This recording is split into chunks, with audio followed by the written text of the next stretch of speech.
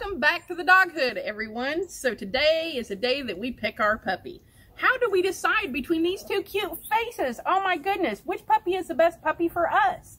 How do we figure out which one will best fit into our lifestyle? Well, there's some interesting things that we can talk about on how to choose your puppy particularly. If depending upon the breed, you might want to pick your puppy according to color. So, for instance, if you're doing doodles, you may want a parti doodle versus a brown doodle or a white doodle. They come in such a vast variety of colors till sometimes color is really what you go to pick your puppy for. But if you pick a breed like Golden Retriever, well shoot, they all kind of look alike, don't they? They're very similar in color. So how do we determine which puppy is the puppy for us in any particular litter besides color?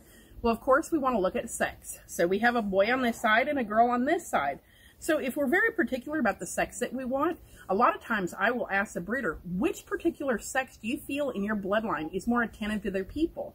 That's a good question to ask your breeder.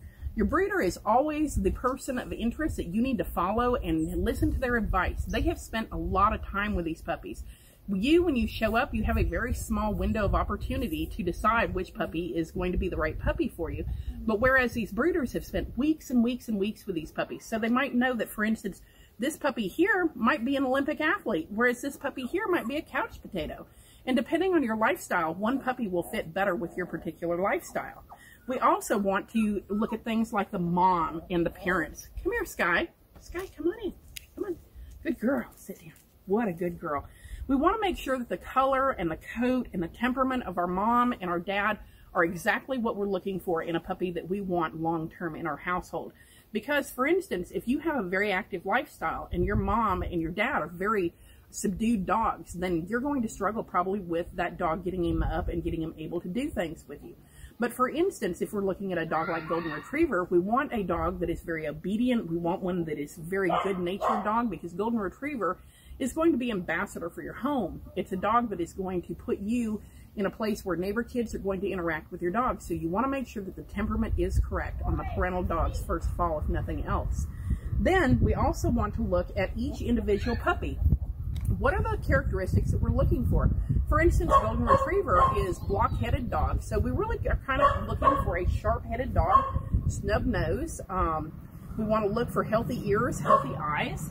So the puppy that we decide to look at, we're going to go ahead and look the puppy over and make sure that all things are correct. Make sure there's no umbilical hernia on the bottom of the dog, which is where their umbilical cord is actually attached. That there's no poochiness. We're also going to be looking at the puppy that is best on his back or that we can manipulate that doesn't have high fright or flight reflexes. The breeder, though, of course, can tell you the overall of this puppy in the last couple weeks of life, we can definitely tell which particular dog is best suited for us by listening to the breeder and explaining to them the attributes that we're looking for in a puppy for sure. So one of the things that you can test is pain tolerance. If you have children in the household, you want a dog with a very high pain tolerance because they might get their tail stepped on or their foot stepped on and you want to make sure that they're not reflexing back. So when you take the puppy's paw and just squeeze slightly to see if the puppy removes its paw from you, that tells you if the pain tolerance is high in the puppy. If they remove their paw really quickly, then that is a puppy that you probably want to uh, look for a different puppy in the litter if you have children in, in your home. Another thing that we are going to be looking at as well is how they interact with each other. We want to make sure that your puppy is not a dominant or a submissive dog as well. Very middle of the road is the best dog for a family pet. So we're going to look at the puppies interacting with each other and they're a little bit young right now. So they are just now beginning to interact with each other. So when we get up to the seven or eight week marker, I always suggest that you visit several times. Listen to the breeder's suggestion and definitely see which puppy is best mated for what you're looking for in your particular household. So a lot of breeders do things called puppy culture, uh, biosensor work, uh, hard testing, depending on what type of breeder your breeder is. And through these testing courses that the breeder does, it actually tells the breeder what type of puppy you're looking for. Um, it tells them what kind of dogs are in the litter. For instance, is this one an Olympic athlete? If it is, is that one a couch potato? Those are things that are told between the testing and the puppy culture to the breeder that the breeder can definitely ascertain for you and give you good information.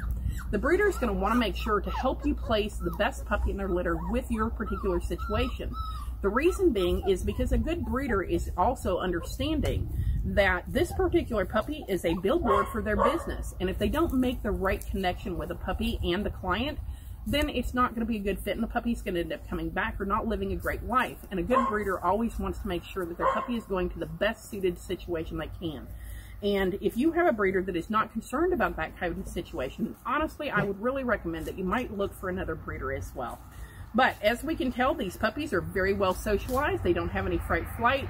They're able to lay on their backs. They don't give any issue for that. They don't try to fight or move away from that, which means the dog's very compliant, which means this dog is going to train out very easy as well.